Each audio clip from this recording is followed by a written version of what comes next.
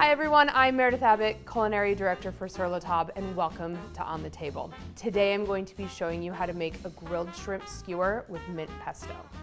This recipe is easy to make and is packed with super fresh herb flavors.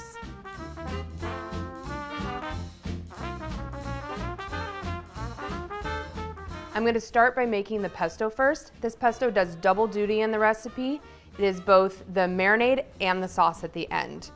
It's also not a super traditional pesto, so instead of just having basil, I'm taking a springy approach to this and I'm adding some fresh parsley and mint to it. So to start, I'm gonna take my garlic clove into the food processor, followed by, followed by Parmesan cheese Parmesan that cheese. I've already grated. Already we're gonna grated. take it even further. It even further. And toasted pine nuts. You wanna toast these to really richen and deepen that flavor.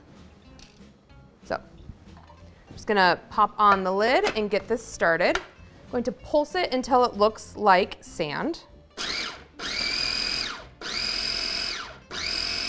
Since these are hard ingredients, you wanna do this step first before you add in the herbs.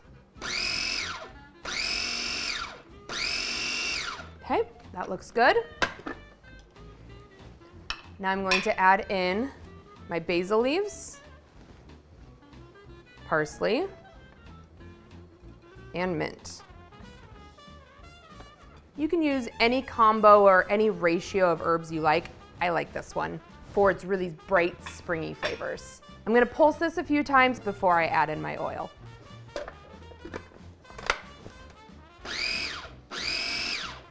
Just wanna give those herbs a little bit of a head start.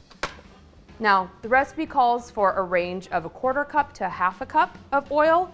Always start with the lower end of the range and then you can always increase as you need. So I'm gonna add about half of this oil in.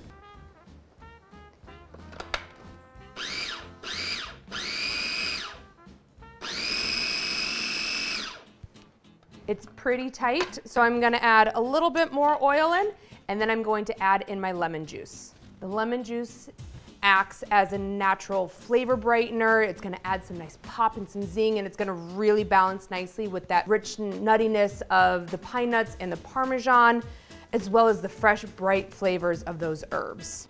About a tablespoon or about a half of a lemon juiced right in. and pulse again until it's kind of nice and smooth with just a little bit of texture left. One last step before it's ready to go is to taste test. Fresh spoon. The flavor is really nice already, but it definitely needs a little bit more salt to make those flavors sing. I'm just gonna start with a pinch of salt. And I do want a little bit of spice from some black pepper, again, to balance it all out. So I'm just gonna add a small pinch of black pepper. I'm gonna buzz it again until it's all combined.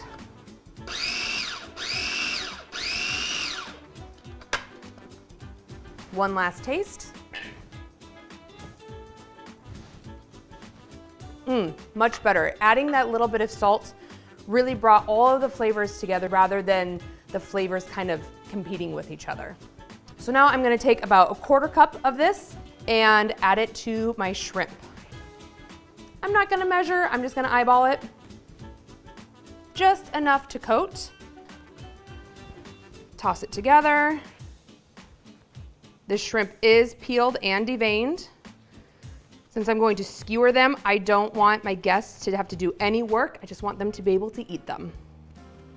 Now that the shrimp is coated, I'm gonna set this aside at room temperature for 30 minutes. Then I'm gonna start grilling. My shrimp has been marinating for 30 minutes and now it's ready to skewer. At the same time I marinated my shrimp, I also started soaking some bamboo skewers. This is really important for when you are using bamboo skewers because if you don't, they can flame up and char and you don't want that.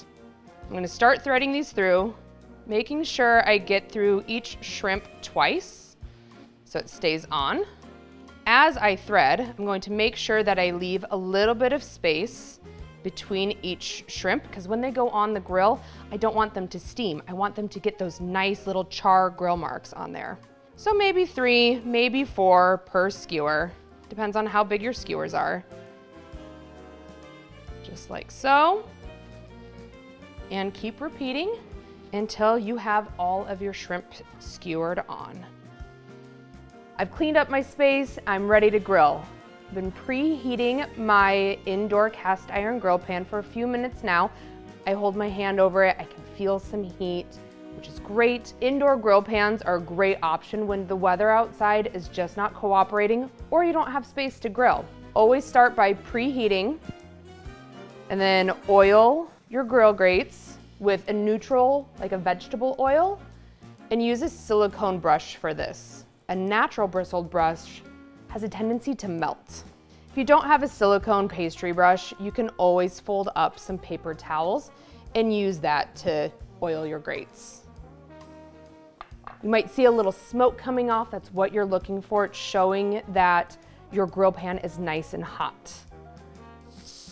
I like to get those cross hatch marks like you see at restaurants. So I'm gonna lay them across those grill grates.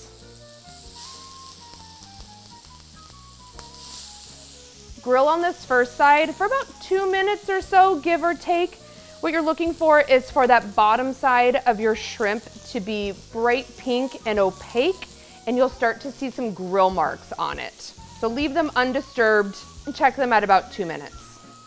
It's been about two minutes. A couple things that I'm looking for. One, check that the shrimp is opaque and it's bright pink and that they're releasing from the grill. So to, just to check for the releasing carefully, if you can tolerate it with your fingers, pick up your skewer, yep, and if they release, they are ready to turn.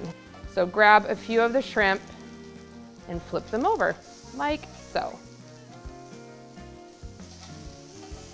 Yes, beautiful grill marks. They're pink, they're opaque. I'm very happy with these. It's been about another two minutes. I'm gonna check this second side and see if they're ready. Yep, they're releasing. Onto the plate they go.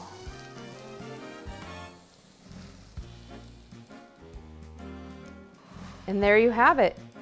Grilled shrimp skewers with mint pesto combination of flavors are sure to be a hit. Enjoy!